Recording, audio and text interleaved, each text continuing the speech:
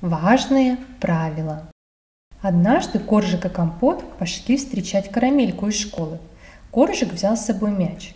По пути он пинал его, и вдруг мяч выкатился на дорогу. Коржик побежал за ним. Компот испугался, что машина задавит Коржика и оттащил его на тротуар.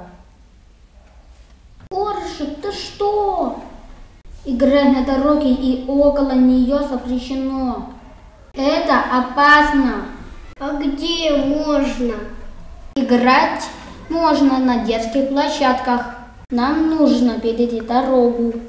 Школа на той стороне. Пошли. Стой, так нельзя! А как можно? Переходить дорогу нужно по светофору на зеленый цвет. А если светофора нет, нужно найти пешеходный переход. Он обозначается специальным знаком. Вот этим? Нет, этот знак запрещает водителям туда ехать. Может тогда этот знак? Да, этот знак пешеходного перехода.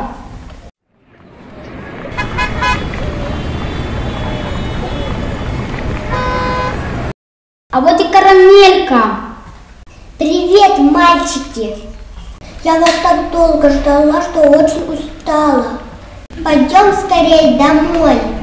Может, тогда поедем на автобусе? Давайте поедем прямо сейчас. Ну, Коржик, прямо сейчас не получится. Нужно найти автобусную остановку. Она обозначается специальным дорожным знаком. Вот таким? Да! Это знак автобусной остановки. Так котята добрались до дома, а Коржик узнал важные правила дорожного движения.